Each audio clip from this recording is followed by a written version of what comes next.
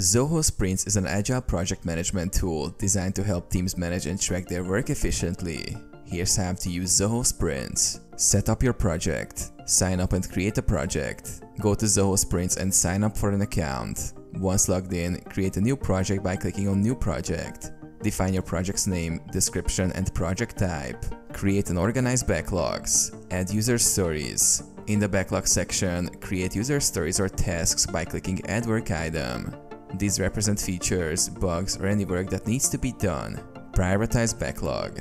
Drag and drop items to prioritize them based on their importance or urgency. Plan and start a sprint. Create a sprint. Move prioritized backlog items into a sprint. To create a sprint, go to the sprint section, click on create sprint, set the sprint duration and add items. Start a sprint. Once your sprint is set up, click start sprint to begin tracking the progress. Track progress. Use the Scrum board. The Scrum board displays all your work items as cards in columns like to do, in progress, and done.